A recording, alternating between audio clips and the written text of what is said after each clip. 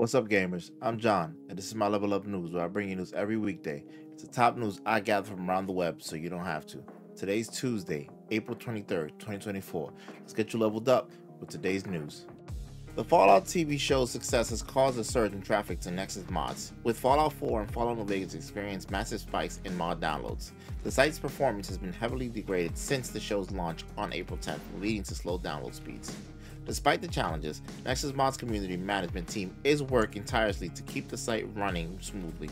The site served over 6,300 terabytes of mods between Friday and Sunday, with peaks of 24 million total file downloads per day, compared to normally 10 million a day. However, the surge in traffic has highlighted sustainability issues, and the site can't afford an Infinity solution to meet such massive spikes. Nevertheless, Nexus Mods sees this as an exciting time with many new and returning fans exploring mods for the first time or rediscovering them, keeping the Fallout series fresh until the release of Fallout 5. Atlus has announced its latest RPG, Metaphor ReFantazio, will launch on October 11th for PC, PlayStation 4, PlayStation 5, and Xbox Series X and S. Directed by Katsura Hashino, known for his work on Shin Megami Tensei 3, Persona 3, Persona 4, and Persona 5, The game features a soundtrack by Persona composer Shoji Meguro and artwork by NieR Automata concept artist Koda Kazuma. Set in a kingdom filled with machinery and vehicles designed by Ikuto Yamashita, the story follows the protagonist's quest for the throne after the kingdom's ruler is assassinated. ReFantazio introduces archetypes, providing characters with various classes and implements a mix of real-time action and turn-based gameplay. The game also features a follower system similar to Persona's social link system. A collector's edition priced at $150 is available. The final shape raid in Destiny 2 is set to release on Friday, June 7th at 1am Eastern Time, just three days after the expansion's June 4th release date. Bungie has broken from its usual release schedule, launching the raid earlier than normal, and it's a significant departure from the norm. Typically, players have around two weeks to finish an expansion's campaign before a raid is introduced. However, the Final Shape raid featuring the Witness as its final boss is a pivotal moment in Destiny 2's Light and Darkness saga. Bungie's decision to release the raid earlier is a bold move as it allows players to seamlessly transition from the campaign to the raid, ensuring that they won't have to wait long to experience the full story. Billie Eilish is joining the Fortnite universe as a playable character, released today. She'll be featured in the next season of Fortnite Festival, bringing her songs to the in-game experience.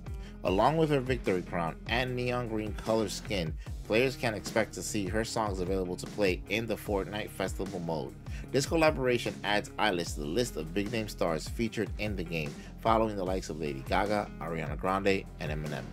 Fortnite's ongoing season has a Greek mythology theme, and it recently had a crossover event with Avatar The Last Airbender. Earlier this month, Stellar Blade developers expressed their surprise at the dedication of some fans who have already invested dozens of hours into the game's demo. One player, Hardware Cheese, posted a picture on Reddit showing Eve's skill tree nearly maxed out after spending 60 hours grinding through the demo's limited content. Despite questions about why anyone would spend so much time on what seems like a pointless exercise, Hardware Cheese explained their goal was to master all the moves, combos, and variations before the game's release. The saved progress from the demo will transfer to the full game when it launches, allowing Hardware Cheese to continue their journey seamlessly. In Hades 2, you play as Melinoe, the daughter of Hades and Persephone, younger sister of Zagreus, and the princess of the underworld. Set after the events of the first game, Hades 2 sees Melinoe, with the help of Hecate and various figures from the Greek mythology, embarking on a journey to defeat Chronos, the Titan of Time, who has brought ruin upon the House of Hades.